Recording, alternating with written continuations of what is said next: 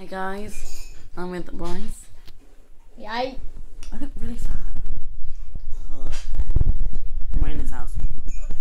yeah. Oh, baby. I'm gonna- Two o'clock, I think. Bye guys.